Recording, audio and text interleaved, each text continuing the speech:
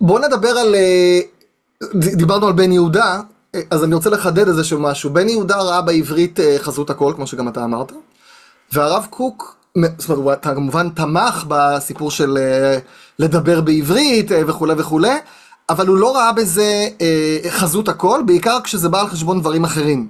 אז רגע, אני רוצה קצת להרחיב. למשל, האם לדבר בעברית לא חשוב מה אני אומר, או, או במה אני משתמש בזה למשל. אז תרחיב קצת. אוקיי, okay, אז בנושא הזה, זה, זה, איך אומרים, זה נושא רחב מאוד מאוד מאוד, אני אקח כמה, כמה נקודות, אולי גם סיפור אחד או שניים. תראה, הצגת את הדברים בצורה מאוד נכונה, הם שניהם נמצאים במקומות שונים לגמרי. התחייה מבחינתו של בן יהודה היא השפה.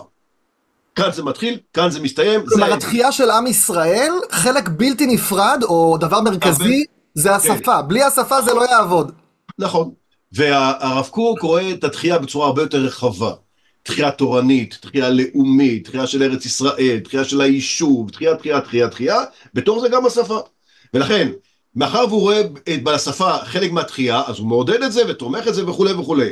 אבל כאשר זה יבוא לידי מקרי בוחן, שם נמצא אותם אה, אה, אה, מעומתים, או לפחות לא באותה תפיסה. אז ניתן אולי דוגמה אחת או שתיים.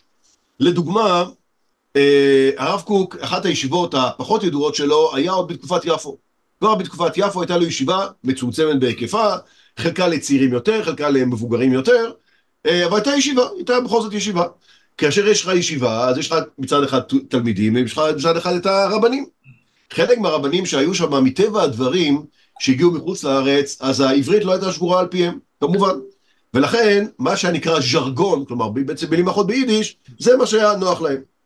והשאלה הייתה, האם ל- ל- ל- לדרוש אך ורק דיבור בעברית בישיבה, הן מצד הר"מים, המלמדי התורה, והן מצד התלמידים, או אפשר גם לוותר. וגם הנושא הזה נדון לא רק באופן תיאורטי, כאילו בין הרב לבין המלמד והתלמידים, אלא גם מה שנקרא הבורד, בעלי המניות. הבעלי המניות, הבעלי בתים, הבעלי בתים, גם הם מעורבים בדבר הזה, וגם הם, מטבע הדברים, תמכו בעברית וכולי וכולי. והיה פעם איזשהו אה, משבר בנושא הזה. אמר להם רב קוק, המדיניות שלי היא כזאת.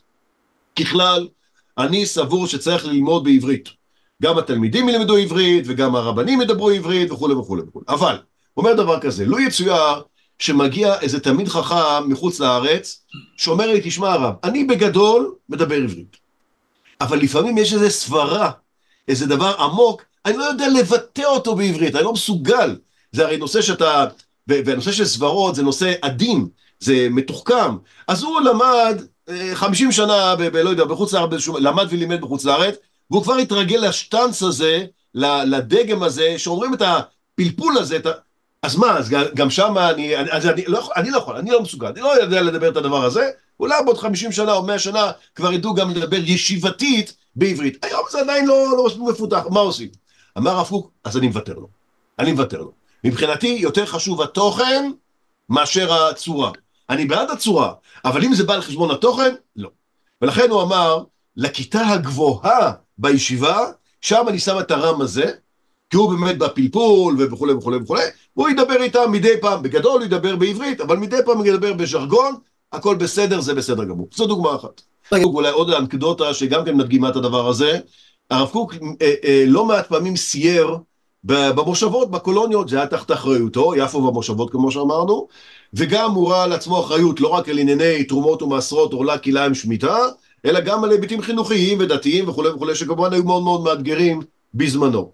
ואז יש כמה וכמה סיפורים בנושא הזה. אחד הסיפורים אומר שבאחת ההזדמנויות אה, ביקרו, ביקר הרב קוק וכמה מהרבנים באחת המושבות, אחת הקולוניות, ואז אחד המורים אה, מחה, אה, זה היה בשבת כנראה, וזה היה לפני, הרב קוק נתן דרשה בליל שבת, בבוקר, לא יודע בדיוק מתי, ונתן אותו ביידיש, ביידיש.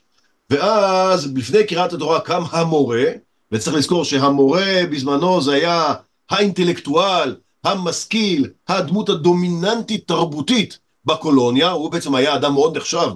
הלוואי עלינו היום הערכה והכשרה של המורים, כמו שאז. הם היו המפורסמים של התקופה. ודאי, ודאי. הסלבס.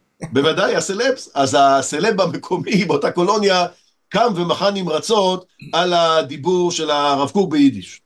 אז קם הרב קוק ואמר שני דברים. דבר ראשון, הוא אמר, תשמע, המטרה שלי זה שיבינו אותי. מה אפשר לעשות? תסתכל ימינה ושמאלה.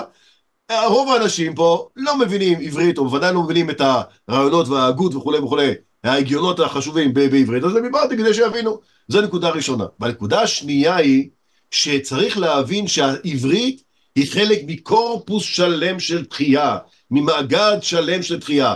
אצלך זה פרט אחד בלבד, אצלי זה לא ככה, אצלי זה חלק ממאגר, ואם מבחינתי התורה תימצא מופסדת, התורה שישמעו תהיה מופסדת, אז אני לא שמה, לא שם. לכן ככלל אני תומך בזה, וכמו שאמרת מלחמת השפות, אז הוא בהחלט תמך, וזה נמצא בכתובים, וכולי וכולי.